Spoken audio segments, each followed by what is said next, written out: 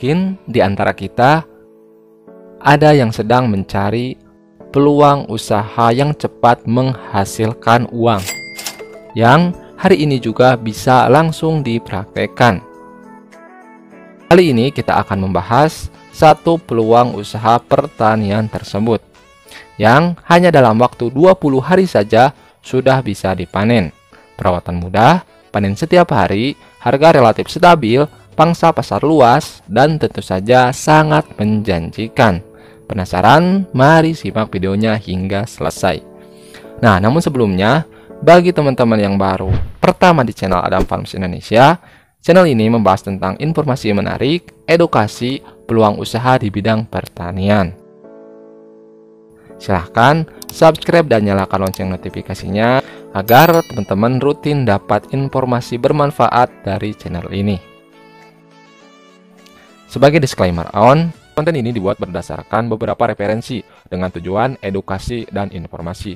Beberapa materi mungkin saja tidak relevan karena perbedaan daerah, cuaca, waktu tanam, serta perbedaan harga. Kami, admin tim dan pemilik channel Adam Farms Indonesia, tidak bertanggung jawab atas kerugian dalam bentuk apa pun. Nah, mari kita langsung ke videonya.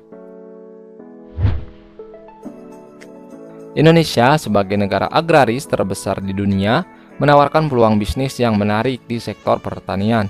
Salah satunya adalah budidaya kangkung, yang merupakan komoditas sayuran yang dapat dipanen hanya dalam waktu 20 hingga 30 hari saja setelah tanam, sehingga menghasilkan keuntungan secara cepat.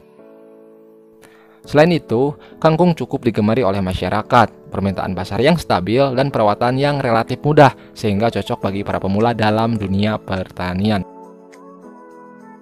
Selain itu, kangkung juga menyimpan berbagai kandungan gizi penting seperti protein, serat, dan sejumlah mineral. Sehingga memiliki banyak manfaat kesehatan seperti mencegah anemia dan berbagai manfaat kesehatan lainnya. Kangkung dapat tumbuh baik di lahan kering maupun berair, sehingga dapat ditanam di berbagai tempat seperti polybag, tegalan, kebun, atau bahkan di lahan sawah. Kangkung sendiri dibedakan menjadi dua jenis kangkung, yaitu kangkung darat dan kangkung air, masing-masing dengan karakteristik dan tempat tumbuh yang berbeda. Namun pada umumnya, kangkung menyukai tempat tumbuh yang mengandung banyak bahan organik, suhu udara 25-30 derajat Celcius, ketinggian daerah kurang dari 1000 meter di atas permukaan laut, namun di ketinggian 1500 ternyata masih bisa tumbuh. Proses penanaman dilakukan dengan biji maupun anakan. Namun, skala pertanian lebih disarankan menggunakan biji untuk menghasilkan kualitas yang lebih baik. Nah, untuk penanaman bisa dilakukan dengan membuat larikan memanjang seperti ini dengan jarak yang disesuaikan. Khususnya kangkung darat yang kami coba fokuskan pembahasan pada kali ini. Nah, lalu berapa keuntungan budidaya kangkung? Prospek keuntungan budidaya kangkung berdasarkan data yang diperoleh yang telah kami sesuaikan untuk satu bedengan berukuran 1 meter kali 10 meter mampu menghasilkan sekitar 130 ikat kangkung per sekali panen dengan berat rata-rata 200 gram per ikatnya. Jika harga jual kangkung per ikat adalah 2000, maka 130 ikat kali 2000 adalah 260.000 rupiah. Ini pendapatan sekali panen dalam satu bedengan. Satu bedengan dengan luas 1 meter kali 10 meter. Nah, dan bagaimana agar bisa panen setiap hari dengan angka penjualan sebesar ini? Nah, ini menarik sekali. Untuk bisa panen setiap hari, caranya sangat mudah Setidaknya sediakan 20 bedengan seperti ini. Lalu, lakukan penanaman satu bedengan setiap hari bergantian. Maka panen akan berkesinambungan setiap hari. Hari ke-21, 22, dan seterusnya.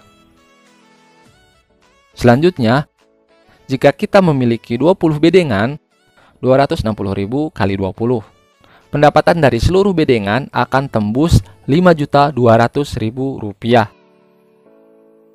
Ini merupakan omset yang cukup menggembirakan. Jika kita hitung juga potensi pendapatan bersih atau setelah dikurangi modal, biaya pengeluaran, bibit pupuk dan lain sebagainya, maka kita tentukan dulu biaya pengeluaran. Kita asumsikan per ikat kangkung modal 600 dengan harga jual per ikat 2000 dikurangi 600. Dengan demikian, keuntungan bersihnya Rp1.400 per ikatnya. Lalu dikali 130 ikat yang merupakan panen dalam satu bedengan, maka pendapatan bersih kita akan dapatkan 182.000 bersihnya dalam satu kali panen. Dikali dengan 20 bedengan 182.000 kali 20, maka pendapatan bersih akan tembus 3.640.000. Dengan syarat budidaya dilakukan secara teratur sehingga dapat panen setiap hari. Nah, angka ini sangat menjanjikan ya, luar biasa. Dalam 20 hari tembus keuntungan 3,6 jutaan bersihnya teman-teman.